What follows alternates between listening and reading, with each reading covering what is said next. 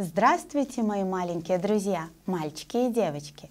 Я Леся Клоунесса, ведущая детских праздников. И сегодня я вам прочту новую сказочную историю. Сказку, которую я вам прочту сегодня, называется «Мишка-башка». Из прибрежных кустов высунулась толстая звериная башка. В лохматой шерсти блеснули зеленые глазенки.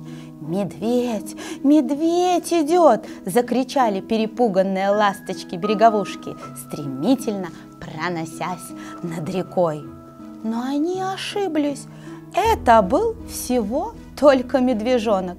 Еще прошлым летом он в припрыжку бегал за своей мамой, медведицей, а этой весной стал жить сам по себе, своим умом, решил, что он уже достаточно большой.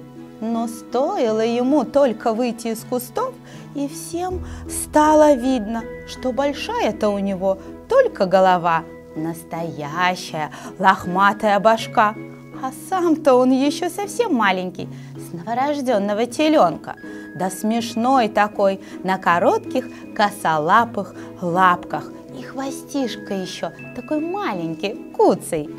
В этот знойный летний день в лесу было душно и парно. Он и вышел на бережок, как принято, тут обдувал очень свежий ветер. Мишка уселся на траве, сложил передние лапы на круглом брюшке. Человечиком сидел и степенно поглядывал по сторонам.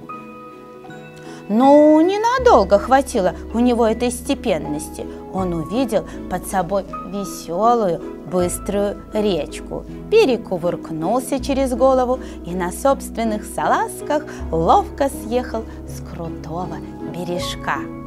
Там стал на четвереньки и давай лакать прохладную водичку. Напился в сласть и в развалочку не спеша закосолапил вдоль берега.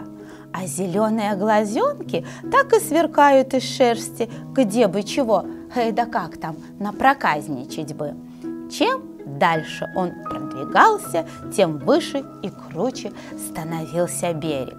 Все громче и тревожнее кричали над ним ласточки. Некоторые из них проносились мимо самого его носа с такой быстротой, что он даже не успевал разглядеть их, кто такие, и только слышал жужжание их маленьких крылышек. Некоторые из них проносились мимо самого его носа с такой быстротой, что он даже не успевал разглядеть их, кто такие, и только слышал жужжание их крылышек. «Ишь их тут сколько!» – подумал Мишка, остановившись и поглядев вверх. «Это что, пчел э, дупло, что ли?» И сразу вспомнил, как прошлым летом мать-медведица подвела его с сестренкой к пчелиному дуплу. Дупло было не очень высоко, и медвежата, почуя чудесный запах меда, в перегонки лезли на дерево. Мишка первый полез и запустил в дупло свою лапу. А пчелы как загудят, как накинутся на них. Сестренка завизжала кубарем вниз, а он отведал таки душистого сладкого меда и опять засунул в дупло лапу и опять облизнул ее. Но тут одна пчелка больно ужалила его под глаз, а другая в самый нос.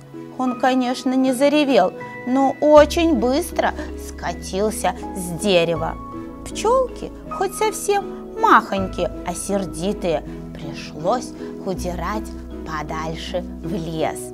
А сестренка еще долго хныкала, ей так и не удалось попробовать сладкого меда.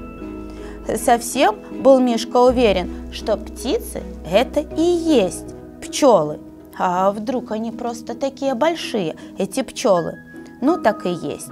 Вон и дупло у них есть, и много черных дырок под самым обрывом. То и дело вылетают из них все новые береговушки с криком и присоединяются к стае. А что кричат, конечно, непонятно. Мишка-то их языка не знал, понимал только, что сердятся. А ну, как возьмут в работу, да как начнут еще меня жалить. Ой-ой-ой, страшно! Ну что, мои маленькие друзья, а продолжение этой сказочной истории мы с вами дочитаем завтра. А сейчас время позднее, садитесь поудобней, мы будем смотреть мультфильм. А я с вами прощаюсь до завтра. Всего доброго, до свидания, спокойной ночи, мои маленькие друзья. Пока!